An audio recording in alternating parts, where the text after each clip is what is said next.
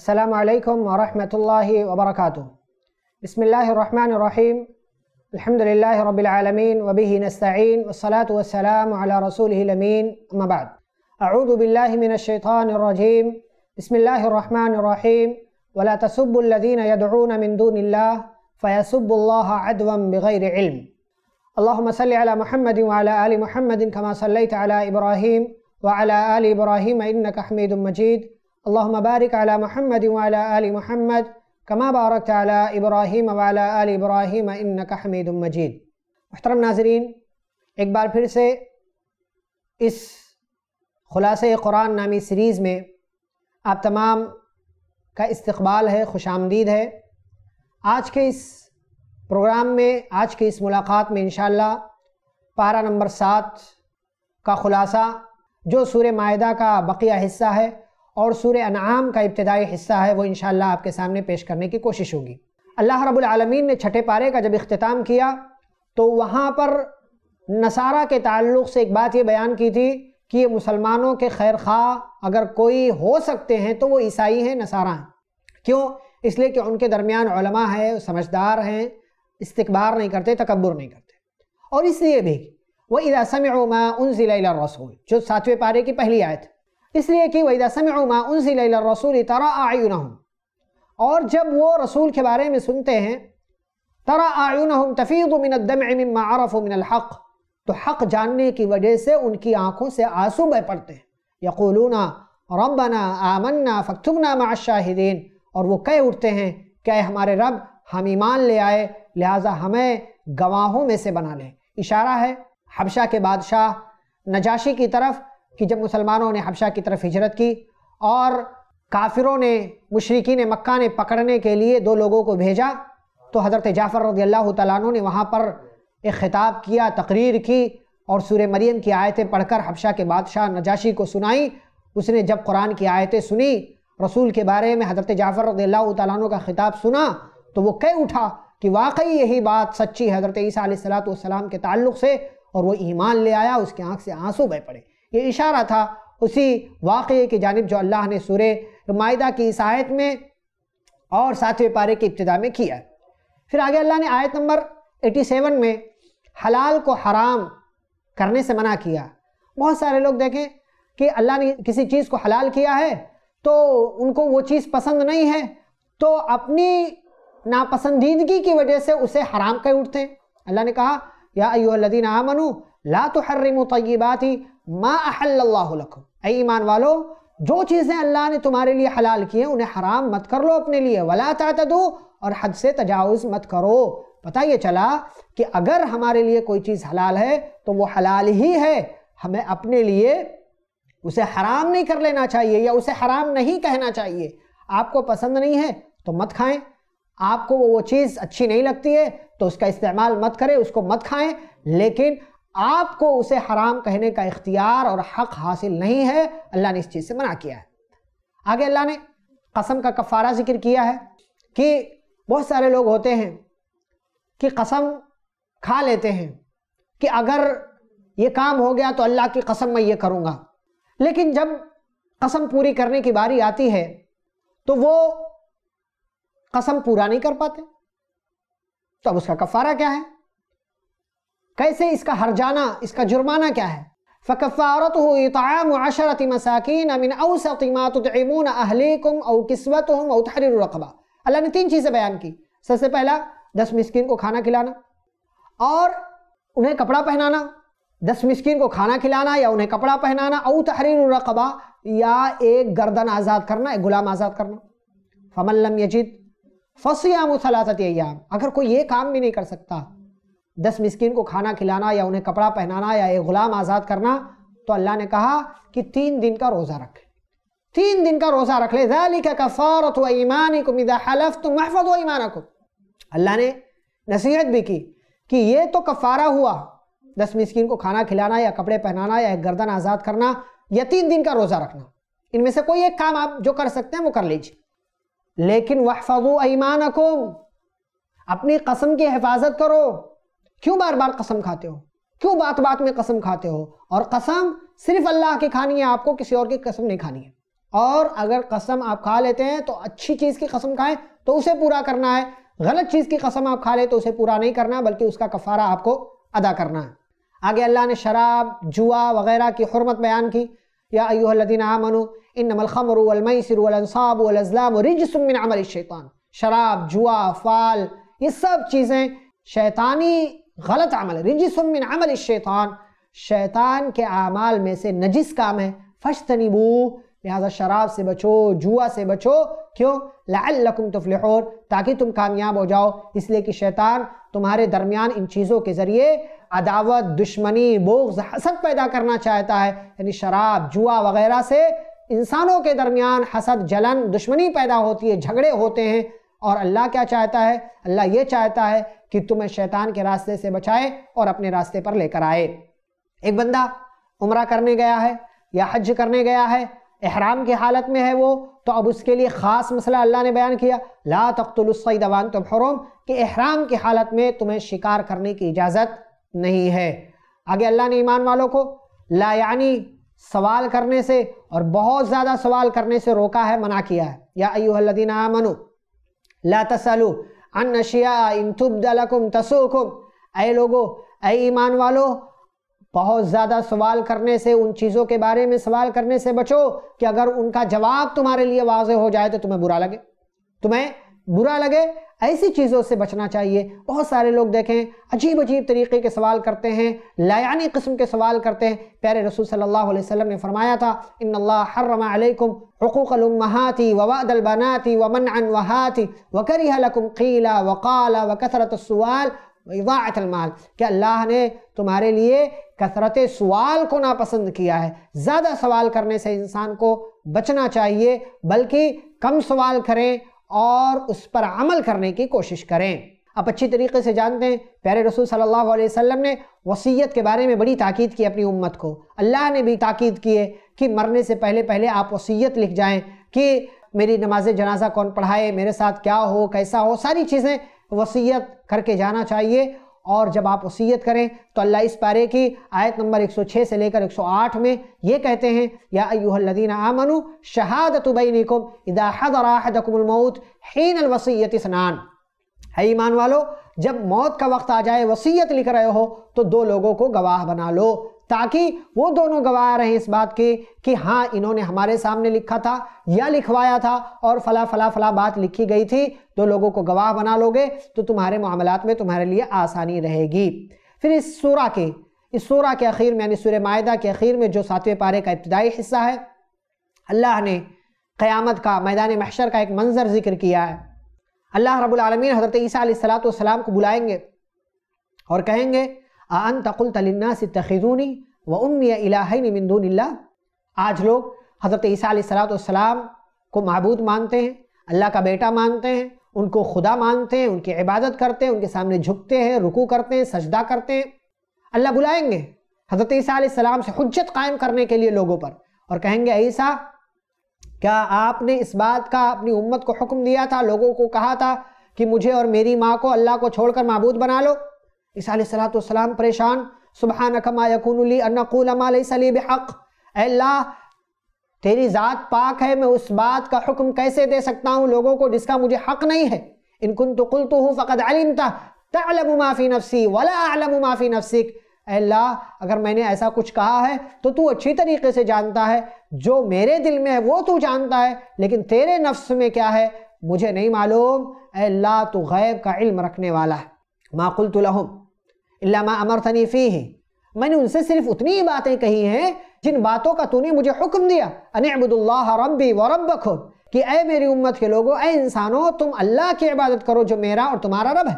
وَكُنْتُ عَلَيْهِمْ شَهِيدًا مَا دُمْتُ فِيهِمْ۔ اور میں اس بات پر گواہ ہوں جب تک میں رہا ہوں۔ فَلَمَّا تَوَفَّيْتَنِي كُنْتَ أَنْتَ الرَّقِيبَ عَلَيْهِمْ لیکن اے اللہ، جب دنیا سے میں چلا آیا، تو اب تو ان کا نگراہ ہے اب ان کے معاملات کا ذمہ دار میں کیسے ہو سکتا ہوں؟ اے اللہ میں نے ایسی کسی چیز کا ان کو حکم نہیں دیا ہے۔ تو عیسیٰ علیہ السلام کی جو لوگ عبادت کرنے والے ہیں، ان کے سامنے جھکنے والے رکو کرنے والے جو لوگ ہیں، ان پر حجت قائم کرنے کے لیے حضرت عیسیٰ علیہ السلام سے اللہ سوال کریں گے۔ اور حضرت عیسیٰ علیہ السلام جواب دے کر ان تمام لوگوں کو شرمندہ کر دیں گے، ان تمام لوگوں کو افسوس کرنے کا موقع دیں گے جو آج دنیا میں حضرت عیسیٰ علیہ السلام کی عبادت کرتے ہیں یا ان کے سامنے جھکتے ہیں، سجدہ کرتے ہیں اور ان سے اپنی مرادیں ان کے سامنے رکھتے ہیں۔ اور ان سے دعائیں کرتے ہیں۔ یہاں پر سورہ معاہدہ ختم ہوئی۔ اب آگے سورہ انعام کی ابتدا ہوتی ہے۔ انعام کا مطلب چوپائے، جانور۔ چونکہ اس سورہ میں بہت سارے جانوروں کا الگ الگ طریقوں سے تذکرہ ہے، اس لیے اسی مناسبت سے سورہ کا نام سورہ انعام۔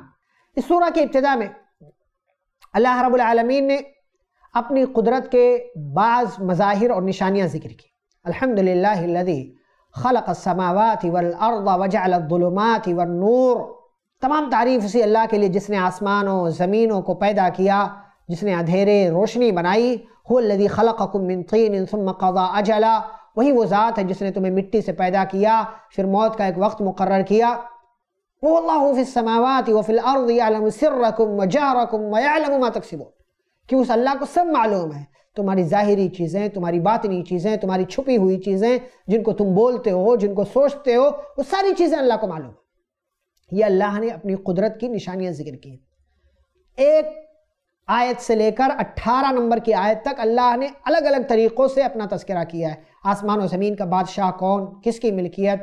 قل اللہ کہہ دیجیے اللہ کے لیے۔ وَإِن يَمْسَسْكَ اللَّهُ بِدُرٍ فَلَا كَاشِفَ لَهُ إِلَّهُ اگر اللہ آپ کے ساتھ کوئی نقصان کر لے، کسی نقصان کا ارادہ کر لے تو اللہ کے علاوہ کوئی دور کرنے والا نہیں۔ اور وہیں یورید کا بھی خیرن فَهُوَ عَلَى كُلِّ شَيْءٍ قدیر اور اگر اللہ آپ کے ساتھ بھلا کرنا چاہے تو وہ ہر چیز پر قادر ہے، وہ کر سکتا ہے، اس کے لیے کوئی چیز امپاسبل نہیں ہے۔ ساری چیزیں وہ کر سکتا ہے۔ وَهُوَ الْقَاهِرُ فَوْقَ عِبَادِ وَهُوَ الْحَكِيمُ الْخَبِيرُ۔ اور وہ اپنے بندوں پر غالب ہے، وہ حکیم ہے، حکمت والا ہے اور خبر رکھنے والا ہے۔ پھر اس کے بعد اللہ نے آیت نمبر اکیس میں یہ کہا کہ سب سے بڑا ظالم کون ہے؟ سب سے بڑا ظالم، ومن اظلم ممن افترى على الله كذبا او كذب بآياته۔ سب سے بڑا ظالم، اس شخص سے بڑا ظالم کون ہو سکتا ہے؟ جو اللہ پر جھوٹی بات کہے یا اس کی بات کو جھٹلا دے۔ اللہ نے جو کہا اس کو جھٹلا دے، یا اللہ کے تعلق سے جھوٹی بات گڑ لے کہ اللہ نے ایسا اور ایسا اور ایسا کہا ہے۔ ایسے انسان سے بڑا ظالم کوئی اور نہیں ہے۔ کیوں؟ اس لیے کہ گویا کہ خود کو اللہ کے مقام پر لے کر جا رہا ہے کہ جس کام کو اللہ کرتا ہے، وہی کام اگر بندہ کرنے لگ جائے تو گویا کہ وہ اپنے آپ کو اللہ کے مقام پر لے کر جا رہا ہے۔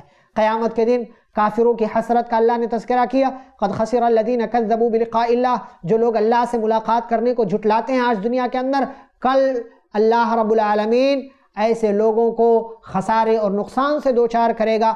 حتی اذا جاءتم الساعة بغتتا قالوا یا حسرتنا علی ما فرطنا فیہا ایسے لوگوں کی موت کا جب وقت آئے گا، یا آتا ہے، تو کہتے ہیں ہے کاش ہے افسوس، ہماری پرانی زندگی پر کاش ہم نے کچھ کر لیا ہوتا، کاش ہم نے ایسا کیا ہوتا، ایسا کیا ہوتا. پھر اللہ کہتے ہیں وَمَلْ حَيَاتُ الدُّنْيَا إِلَّا لَعِبٌ وَلَا. کہ یہ دنیا کی زندگی صرف کھیل کود ہے، تماشا ہے وَلَدْدَارُ الْآخِرَةُ خَيْرُ لِلَّذِينَ يَتَّقُونَ۔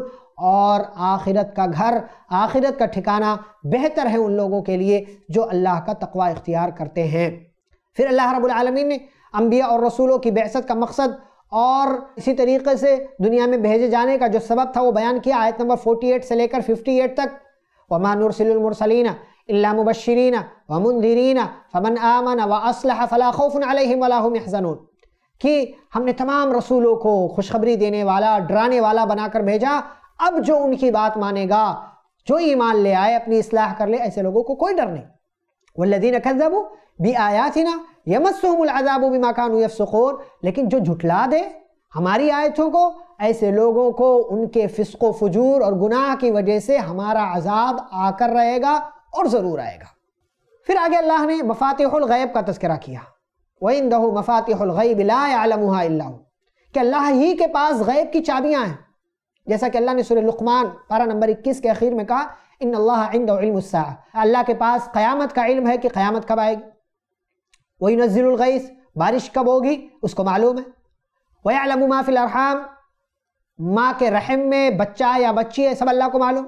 وَمَا تَدْرِي نَفْسٌ مَاذَا تَكْسِبُ غَدَا، انسان کل کیا کمائے گا؟ آئندہ زندگی میں کیا کمانے والا ہے؟ سب اللہ کو معلوم۔ وما تدری نفس بیگی ارض تموت کون بندہ کہاں مرے گا، کس زمین میں مرے گا، کس کا انتقال کہاں ہوگا؟ سب کی خبر اللہ رب العالمین کو ہے اور یہ مفاتح الغیب ہے جن کا علم اللہ کے سوا کسی اور کو نہیں ہے۔ اللہ نے کہا کہ اسی کے پاس غیب کی چابیاں غیب کی کنجیاں ہیں۔